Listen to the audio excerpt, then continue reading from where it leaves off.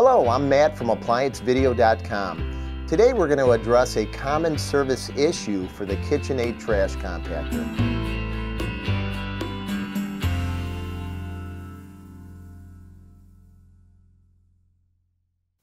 One of the common customer service questions is, the drawer will not open or is in the stuck position.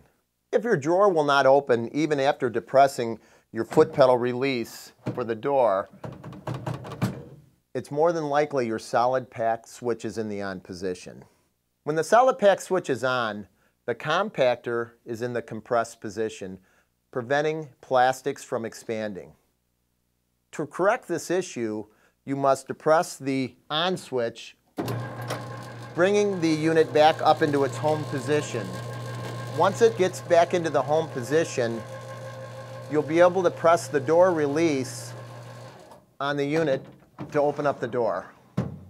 If you're not intending on using the solid pack feature, disengage it by turning off the switch behind the door.